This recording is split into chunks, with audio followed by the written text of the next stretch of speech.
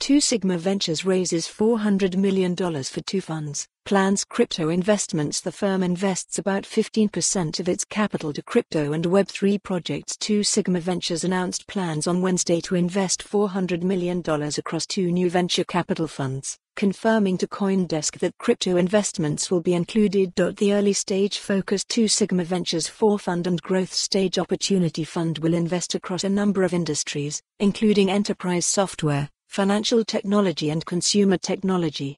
The company doesn't have a dedicated crypto fund, but about 15% of its capital will go toward crypto and Web3 projects, Two Sigma partner Dan Abelon told Coindesk during an interview. Venture capital investments in the first half of 2022 fell 26% year over year as the Ukraine conflict, the collapse of Terra's USD stablecoin, and the liquidity challenges of crypto lender Celsius Network gave way to a bear market.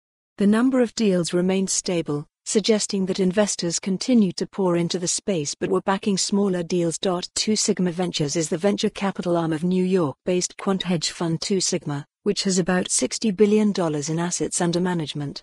The combination drives a focus on startups utilizing data science and software, making crypto a natural investment fit.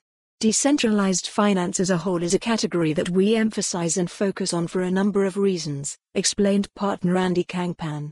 One of them is our affiliation with the broader Two Sigma organization. There's very significant, deep financial market expertise that we can follow the URL for the full article for more on this story. Visit the news article link.